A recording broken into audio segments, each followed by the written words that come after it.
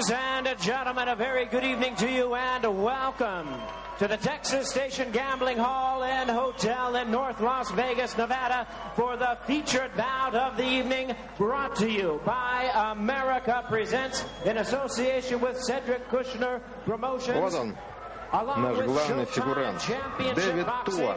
Budweiser, the undisputed king of beers and station casinos, the Это его leading противник, entertainment company Леон in Николсон. This bout coming away is sanctioned by the International Boxing Federation. Все с нетерпением ждут, будет ли Туа снова повержен. В переносном смысле. Ясное дело, потому что его еще никому не удавалось отправить на пол. Но все прекрасно понимают, что несмотря на парочку срывов, которые потерпел Дэвид Туа за свою карьеру, он по-прежнему угроза. Joe Cortez. All right, А я бы fans, сказал, here даже we гроза go with the на main ринге. event of the evening, an Джо IBF Кортес был elimination рефери на ваших heavyweight экранах. attraction, scheduled 12 rounds of boxing. And now, ladies and gentlemen in attendance and boxing fans joining us around the world, live from the Texas station, it's showtime!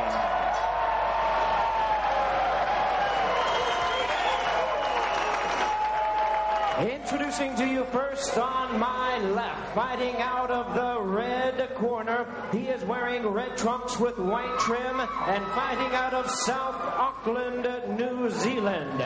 He weighed in at 247 pounds with a record of 37 wins, two losses. He has 37 32 побед. big wins coming by way of knockout. Всего Ladies два and gentlemen, поражения, please welcome the hard 92 по-моему, процента побед нокаут. ranked heavyweight in the world, known as the Tua Man, introducing Туамен, кличка. Ed Tua. Да, Дэвид Туа.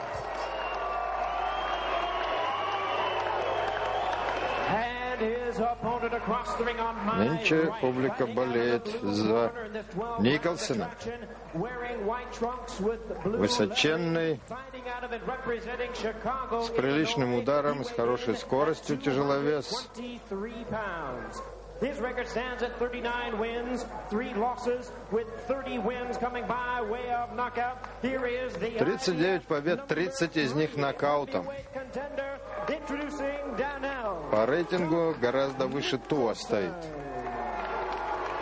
Но не надо забывать тем, кто так весело и с энтузиазмом приветствует Николсона, что против их любимца, человек, у которого взгляд каменного истукана с острова Пасхи, у которого в каждом кулаке бомба, вместо нервов железная проволока и скорость, как у легковеса. Все знают, кто такой Туа и чего от него ждать. Все ждут его главного оружия, все знают, как от него защититься, и все, почти все попадают на этот удар. Страшный левый крюк. Как сказал один древний историк бокса, самый лучший левый крюк с 1936 года.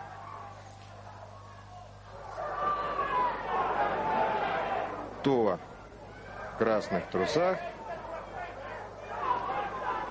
Несмотря на то, что для тяжеловеса он маленького роста, ниже 180, несмотря на его комплекцию, на его довольно объемную талию, он очень гибок. Его умение, между прочим, а, редкое умение среди тяжей отсекать противника от свободного пространства, его абсолютная невозмутимость в случае своих собственных промахов, а их он немало допускает,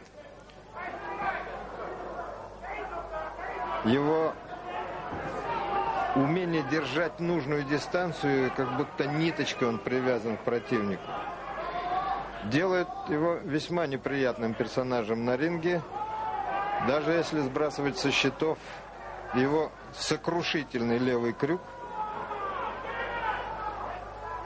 то, конечно, массу неприятных минут доставляет. А, да, в принципе, каждая минута, проведенная с ним на ринге, неприятна. Потому что отогнать его от себя совершенно невозможно.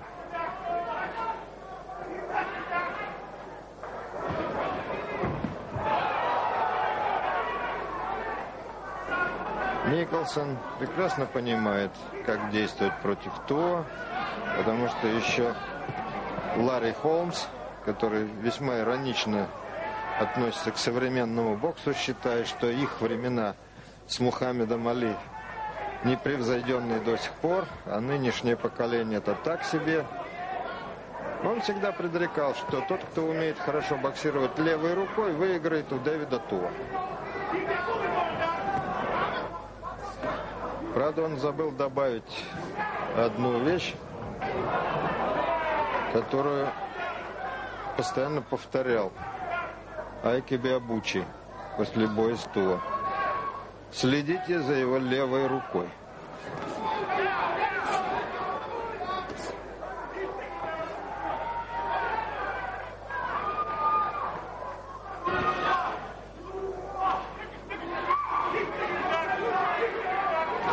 Сначала нервно начал Николсон.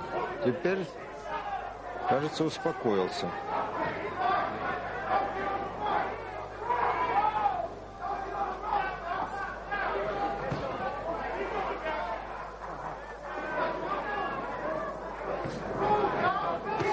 Николсону нужно раскрыть то. То вообще-то довольно трудно попасть. А раскрыть можно только таким образом, когда кто выйдет в положение замаха, сядет на левую ногу, завернется, и тут-то может и подставиться под правый встречный удар. Но Туаман делает это настолько быстро, что еще мало кому удавалось его подловить на этом движении.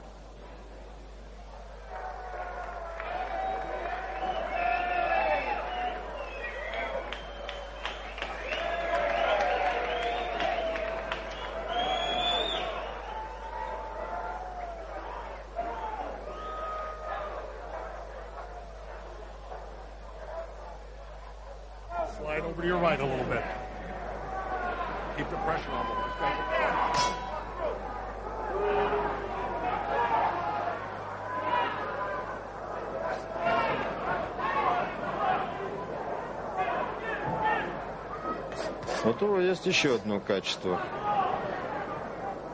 которое сыграло как бы недобрую роль в судьбе многих его противников. Его фантастическое терпение. То может вот так вести бой раунд за раундом, а, искать свой шанс. К сожалению, таким образом пострадал и Олег Маскаев, помнится мне и нам всем, кто смотрел этот бой по нашему спутнику. Вы помните, Олег выиграл 11 раундов у И гораздо более эффектно, чем э, все это делал, чем Николсон. И то попал только один раз. Один раз. И все кончилось.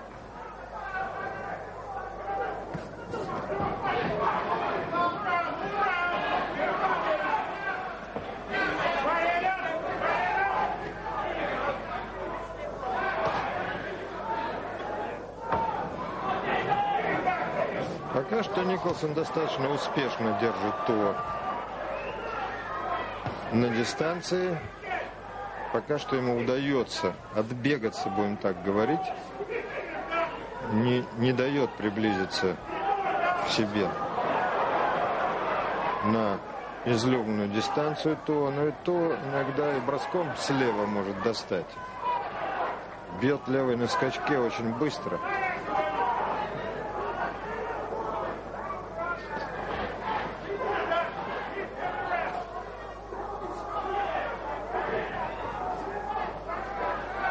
Николсон тоже достаточно терпелив.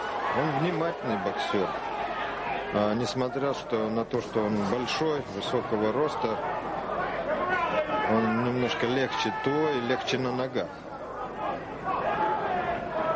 Кроме того, эта его манера не раз ему успех э, приносил, потому что, вы помните, у него 30 побед нокаутом из 39.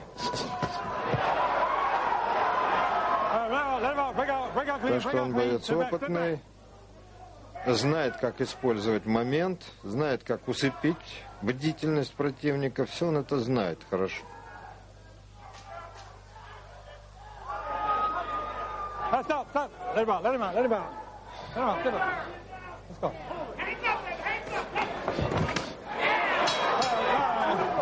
Да. Ну то, когда выбрасывает свои удары, делает он это совершенно непринужденно, без усилий. Помните, как бил Акендов в предыдущем бою? Он так играючи выстреливает своим крюком, а крюк этот может снести вообще с ринга парня, который тяжелее его в полтора раза.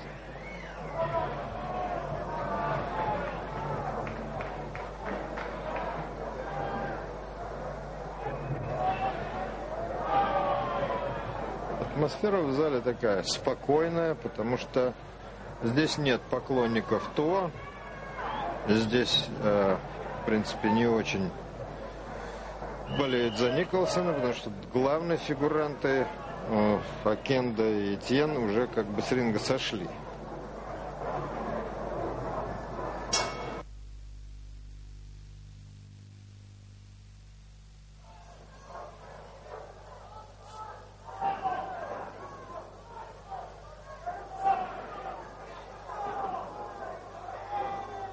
Картина не меняется.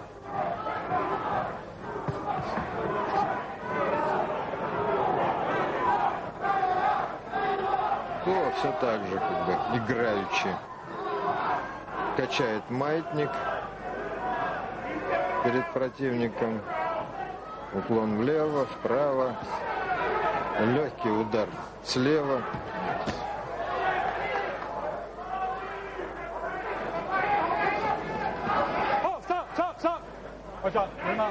Николсону, понятное дело, ничего не остается, как сгребать в объятия Тула, когда тот прорывается на свою дистанцию, там держать, пока рефери не разнимет.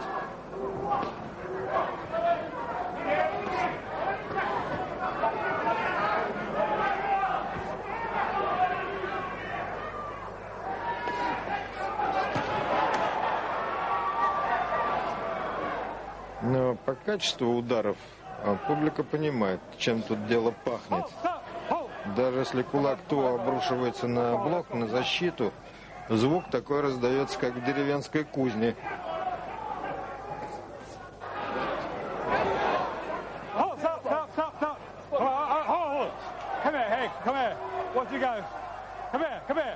Давайте, ребят, подойдите сюда. Давайте без грубостей тут, без толчков.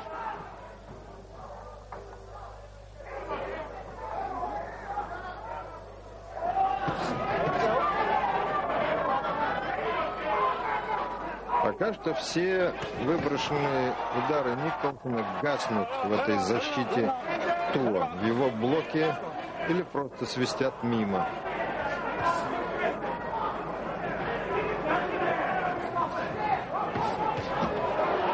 All right, ready? Let's go, ready.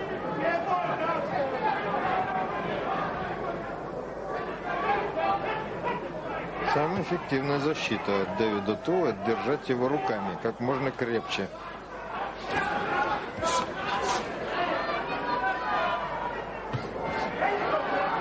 Вот с настойчивостью, такой невозмутимой настойчивостью робота Туа преследует Николсона.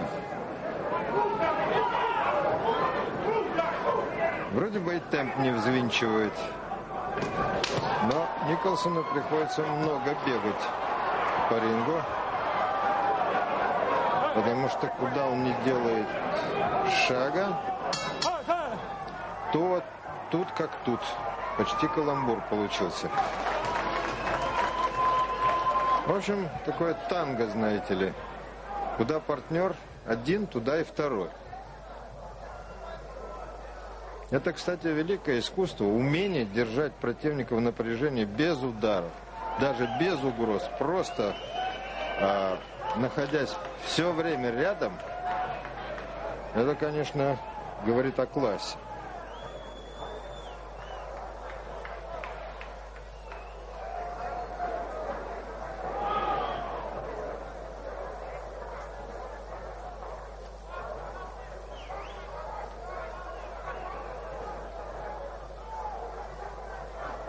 Вот если рассуждать, как раз вернуться к нашим а, раскладам по поводу тяжеловесов, кто в какой позиции, какая вообще ситуация в этом дивизионе, в этом весе, то Туя все-таки по-прежнему, может быть, остается самым ярким а, боксером среди супертяжей. По крайней мере, на этом уровне. Да, многие считают, что это однорукий боксер.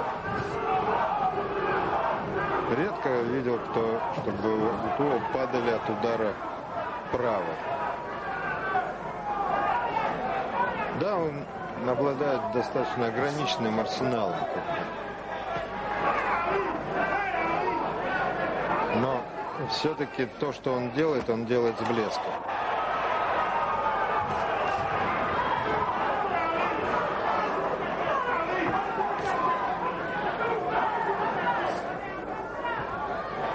Николсону кажется, что он уже нашел противоядие от этого давления.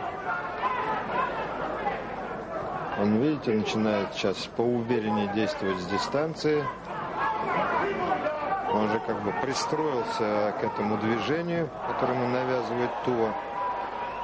Он использует свой рост в защите, забывая, что отклон назад – это защита плохая, несмотря на то, что он на голову почти выше своего противника, то все равно может догнать, поймать и в отклоне.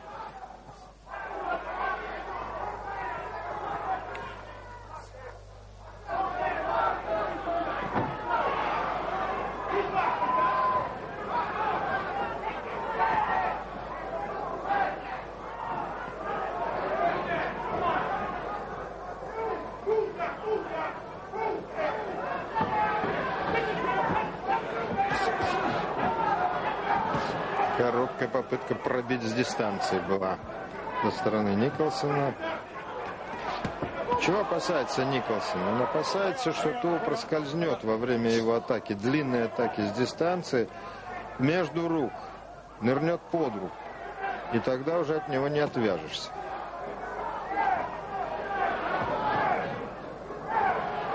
Поэтому осторожность Николсона оправдана. All right, right, right out, bring out, bring out. Come on, guys. On, sit back, sit back, sit back, sit back. Let's go, come on.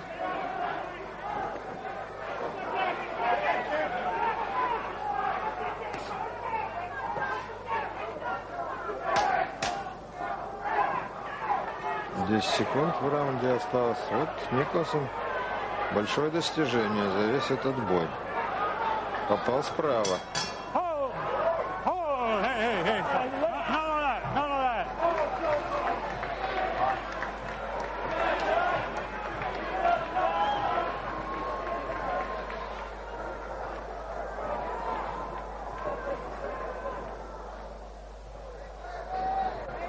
Знаю, что говорят в углу Дэвида Туа. Продолжай давить. Держи свой прессинг. Может подумать, что если бы ему сказали не делай этого, он бы перестал это делать. Это стиль Туа. Это его манера, это его стиль, это его главное оружие. Прессинг, умение держать противника в напряжении. Напряжение, а не удары, ломает рано или поздно любого противника. Ленокс Льюис очень осторожно действовал с Туа, хотя Туа был настолько плох, что просто а, невозможно себе представить. Они сделали ошибку в штабе ТУА тогда, когда решили, что для того, чтобы с таким огромным бойцом, как Ленокс Льюис, э, успешно действовать, нужно потяжелеть. ТУА потяжелел настолько, что едва двигался по рингу. Но тактику Льюис избрал точно такую же, как и Николсон сейчас.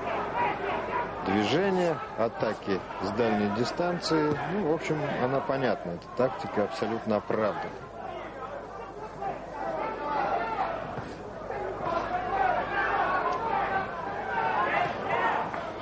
И тут сразу приходит следующий компонент на ум. Соревнование в качестве, в исполнительском мастерстве. Кого лучше получится.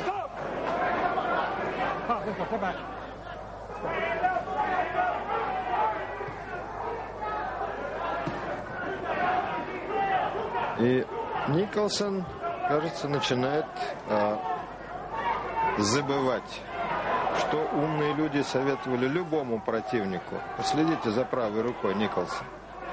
Следи за левой Туа. Еще и Биабучи говорил, а уж он-то был погрознее противник, чем Николсон.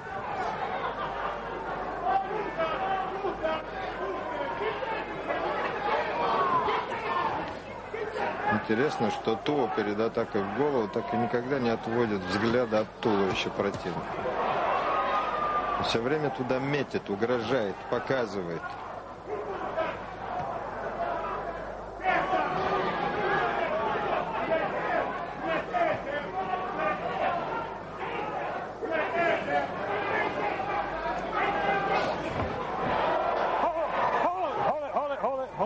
Да. Одинаково 100 его постоянство достойно восхищения. Единственное, в чем он нарушает это правило, это в прическах, которые он выдружает себе на голову. Вот, пожалуйста, вам доказательства. Надо следить за левой рукой Туа.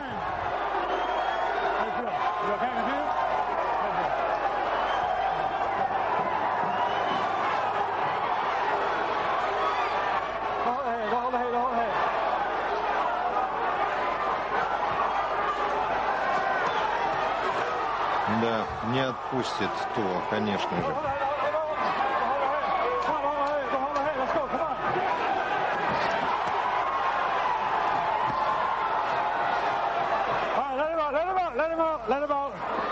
Отпусти, отпусти его, отпусти его. Добился, наконец, уговорил. Джо Кортес, то тут ты гонг подоспел.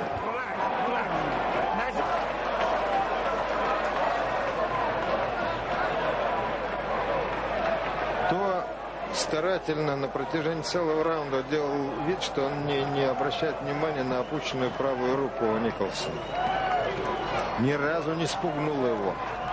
Не заставил поставить блок.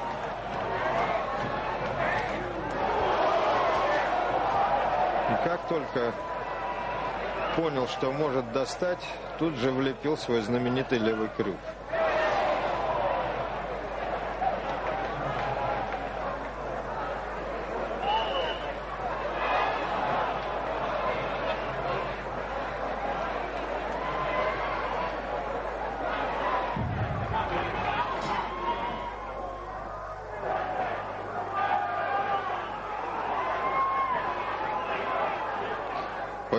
Поэнергичнее задвигался Николсон. Пришел в себя. Ему удалось выстоять концовку раунда. И то снова за свое. Подкрадывается, как бы не торопясь.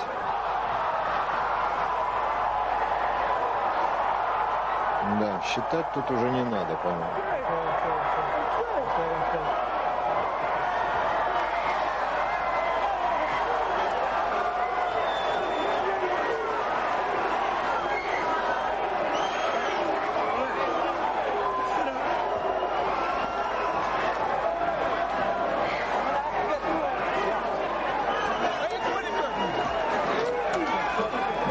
конечно, Николсон это не Акенда. Но у меня такое впечатление, что мы с вами все-таки, если увидим бой Туо Акенда, то мы увидим примерно ту же самую картину.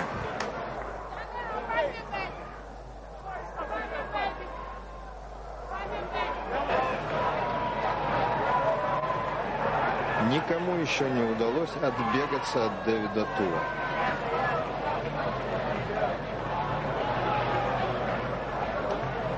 Так что то, что произошло в сегодняшнем бою, это лишнее тому доказательство.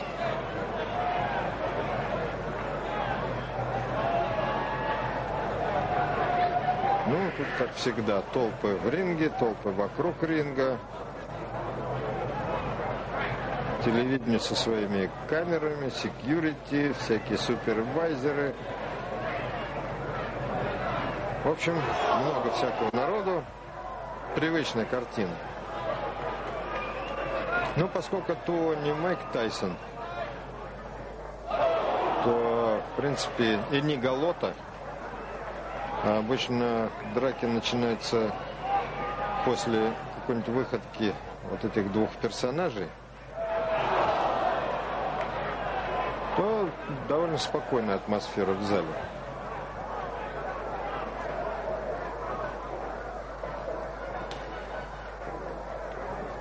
Больше всего меня забавляет э, долгие раздумья по поводу формулировки «как победил Туа». Все видели. Надеюсь, вам понравилось то, что вы увидели сегодня. Мне остается только попрощаться с вами, пожелать вам всего доброго и до новых встреч.